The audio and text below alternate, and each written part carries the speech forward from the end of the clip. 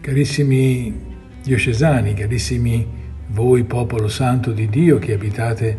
nei territori di Pistoia, ma anche di Prato e di Firenze, con grande gioia annuncio che il 9 gennaio prossimo inizierà un tempo davvero speciale per la nostra Chiesa, un anno santo,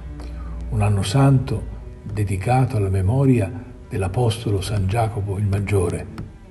da noi comunemente chiamato San Jacopo. Secondo un'antica tradizione, l'anno in cui la festa dell'Apostolo, il 25 luglio, cade di domenica, viene indetto per tutta la cristianità un anno giubilare compostellano, che fa capo a Santiago, in Spagna. Dal momento che fin dall'anno 1145 si custodisce nella nostra cattedrale una preziosa reliquia di San Giacomo, proveniente proprio da Compostela su richiesta dell'allora vescovo di Pistoia, Sant'Atto,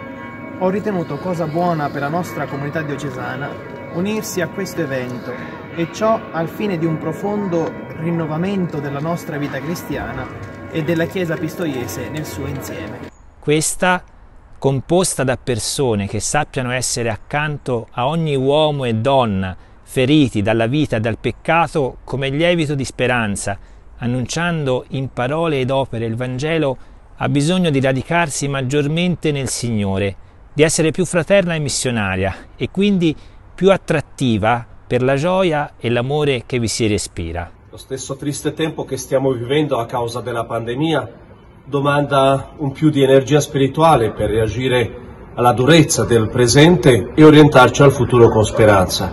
Anche per questo l'anno santo viene a proposito. Tramite la penitenzieria apostolica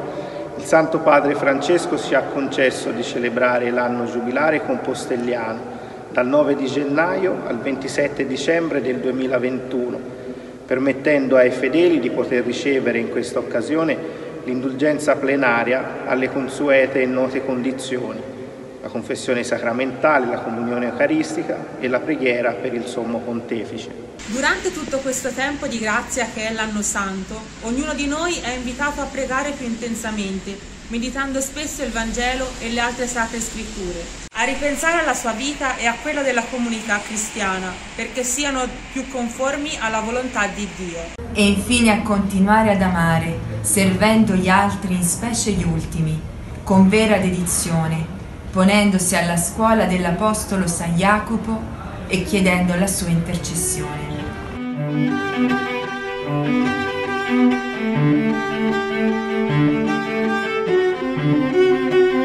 Thank